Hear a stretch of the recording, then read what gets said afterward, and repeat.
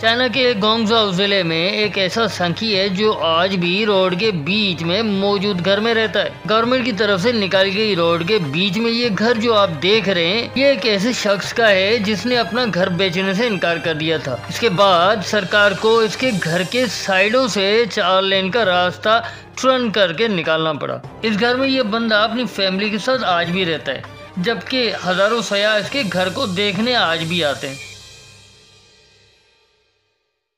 Japan के नरिता airport को जब बनाया जा रहा था, तब आस पड़ोस के जमींदारों से ज़मीन खरीद ली गई। वहीं कुछ किसान ऐसे भी थे जिन्होंने ज़मीन फरोख्त करने से इनकार कर दिया था।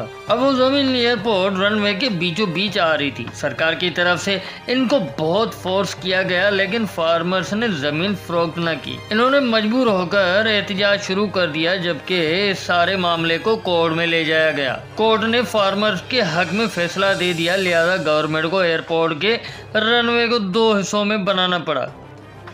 आज ये फार्मर्स एयरपोर्ट के बीचों बीच अपनी ज़मीन आबाद करते हैं। चाइना से ताल्लुक़ रखने वाले लव बाउगिन को ही देख लें। जिद में आके इन्होंने घर न खाली करने वालों की लिस्ट में अपना नाम दर्ज करवा लिया। बाउगिन पेशे से एक किसान थे, वो अपनी बीवी से बहुत प्यार करते थे। इन्होंने अपनी बीवी के नाम से एक फ्लैट खरीद किया। 2011 में इनको अचानक पता चला कि जिस बिल्डिंग का फ्लैट उन्होंने खरीद किया है, वो बिल्डिंग ठीक उस जगह पे है जहाँ से एक हाईवे गुजरनी है। गवर्नमेंट की तरफ़ से बाउगिन और इस बिल्डिंग में रहने वाले दूसरे मकीनों को लेटर भेजा गया कि जल्द से जल्द वो घर को खाली कर दें। बाउगिन के अलावा किसी ने पैसे लिए, किसी ने मुतबादिल घर लिया। लेकिन बाउगेन घर खाली करने का कोई इरादा नहीं रखते थे। उनका कहना था कि गवर्नमेंट उनको सिर्फ़ चालीस हज़ार डॉलर दे रही है, जबकि इसके फ्लैट को खरीद करने के लिए इसके पैसे ज़्यादा लगे। गवर्नमेंट ने इसके घर को हर सूरत में खाली करवाना था। इस बिल्डिंग से सभी अपने घर खाली करके जा चुके थे, जबकि ये साफ़ थे कि घर खाली करने का नाम ही नहीं ले रहे थे। आखिरकार गवर्नमेंट ने दिसंबर 2012 में घुटने टैग दिए। बाउगिन को उनकी मुँह मांगी रकम मिल गई, जिसके बाद बाउगिन ने गवर्नमेंट के साथ सेटलमेंट करके घर खाली कर दिया। अब बात करेंगे एडेथ मेसफील्ड की। उन्नीस सौ बावन से एडेथ अपने ख्वाबों के घर में रहती थी। ये घर उनको बहुत प्यारा था।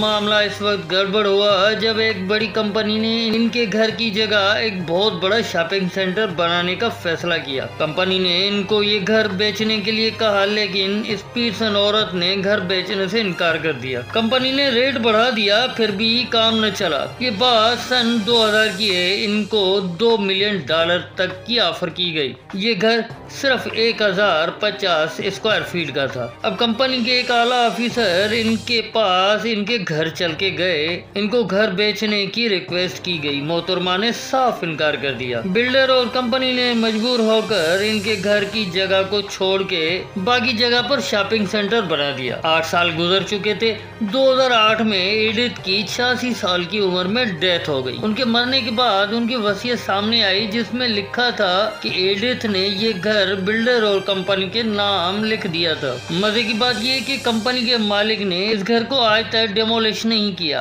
आज भी ये घर वैसे ही अपनी जगह मौजूद है। हज़ारों लोग इस घर को देखने और सेल्फी लेने आते हैं। तो इस बात पर इस वीडियो को एक लाइक बनता है।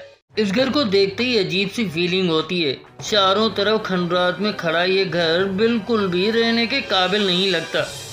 ये तीन मंजिला घर चाइना के हुबे प्रोविंस के इसी शहर में इस वक्त बहस का मरकज बन गया जब इसके मालिक मकान ने इसको बेचने से इनकार कर दिया था। वू पिंग और यंग वू हस्बैंड वाइफ थे। उनको ये घर 1944 में इनके वालदेन की तरफ़ से खरीद किया हुआ मिला था। जब घर इनके नाम पर हुआ तो उन्होंने इस घर को कमाई का ज़रिया बना लिया। घर की छत पर एक रेस्टोरेंट खोलकर वो अपना गुजर सफ़र करने लगे। उनको ये मालूम न था कि उनकी प्रॉपर्टी ऐसी जगह पर है जो कि हीरे की तरह अनमोल है, क्योंकि उनकी प्रॉपर्टी को चारों तरफ़ से रोड लगती थी। 2004 में मकामी सरकार ने यंग और उसके पड़ोसियों को घर खाली करने का नोटिस दिया, जिसमें इन सभी को दूसरी जगह मुतबादल घर देने का प्लान भी शामिल था, क्योंकि मुकामी सरकार इस जगह इंडस्ट्रियल जोन कायम करना चाहती थी। यंग के अलावा सभी ने सरकार की ऑफ़र को कबूल कर लिया। यंग का कहना था, ये घर न सिर्फ़ उनका घर है, बल्कि सालों की मेहनत से बना हुआ रेस्टोरेंट भी है, जो कि इनकी रोजी रोटी का ज़रिया भी है।